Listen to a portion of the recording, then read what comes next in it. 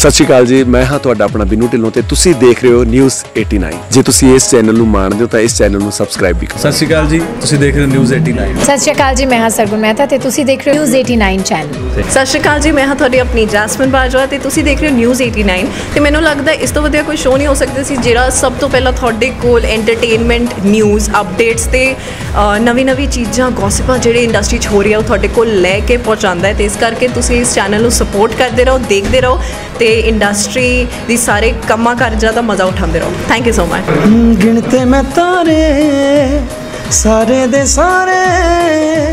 ਇਹ ਤੋਂ ਕੀ ਦੱਸ ਇੰਤਜ਼ਾਰ ਕਰਾਂ। ਸਤਿ ਸ਼੍ਰੀ ਅਕਾਲ ਜੀ, ਮੈਂ ਤੁਹਾਡਾ ਆਪਣਾ ਆਤਿਸ਼, ਤੁਸੀਂ ਦੇਖ ਰਹੇ ਹੋ ਨਿਊਜ਼ 89 ਔਰ ਬਹੁਤ ਹੀ ਅੱਛਾ ਚੈਨਲ ਗਰਮ ਗਰਮ ਤਾਜ਼ੀਆਂ ਤਾਜ਼ੀਆਂ ਖਬਰਾਂ ਸੁਣਨ ਲਈ, ਦੇਖਣ ਲਈ सब्सक्राइब करो news 18 thank you latest update सबसे पहले देखने के लिए सब्सक्राइब करें न्यूज 89 और प्रेस करें बेल आइकन